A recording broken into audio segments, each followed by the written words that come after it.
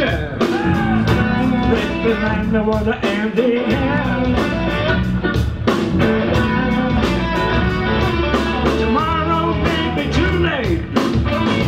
Now's the time.